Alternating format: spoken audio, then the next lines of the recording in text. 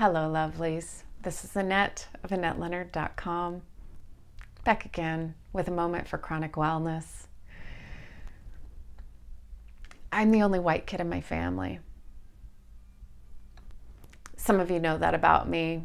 Many of you perhaps do not.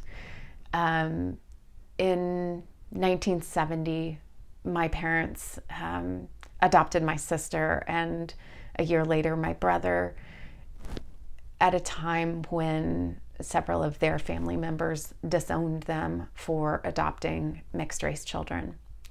A few years later, I was born, and they had intended to adopt two more and have one more and stopped with three.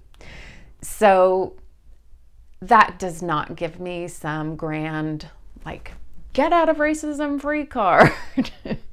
Certainly does not. What it does do is give me a lens on my whiteness. From my earliest days, I was aware of being white, which is atypical in our culture, right? Most of us do not have a lens on whiteness until we are young adults. White is invisible, which is what white privilege is most of the time. We think of ourselves as being unraced. And it affords most of us who are white the luxury of not having to talk about race. We don't grow up being told, look, you are a spokesperson for your race, you are a representative of your race, you must perform better than the other kids at school, your behavior must be impeccable and above reproach.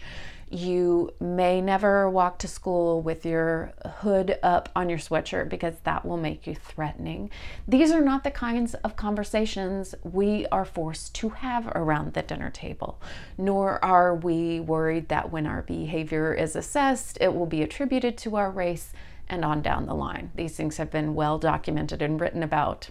I don't need to spend a few minutes here telling you about them.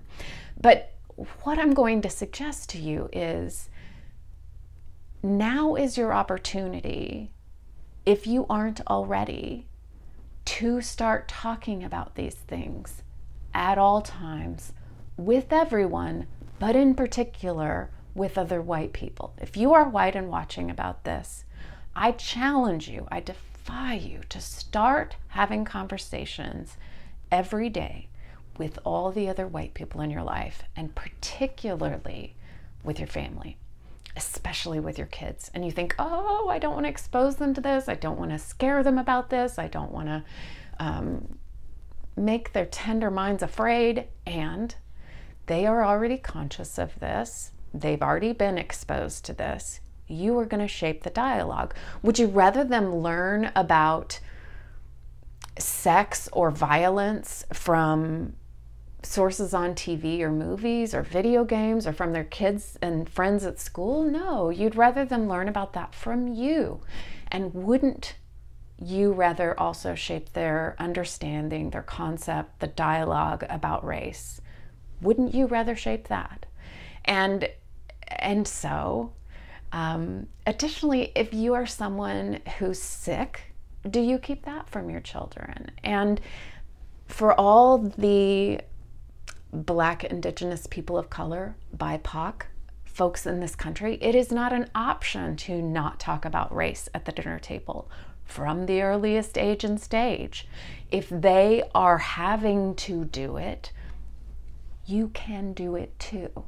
Now, you don't have to because that's what privilege is, but you have the opportunity to, you have the option to, and you are doing your kids a great service you are doing this world a service and you are being a part of dismantling white supremacy by doing it.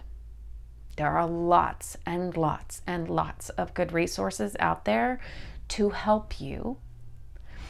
It is better to do it and get it wrong than to not do it.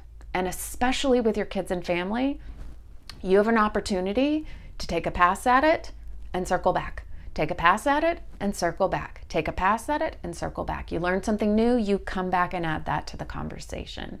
So it is better to do it and do it imperfectly than to not be doing it. Get started. Today's the day. Roll up your sleeves, jump in. All right. There we go, folks. Thank you for being here. I look forward to your questions and comments. And until we're together again, be well.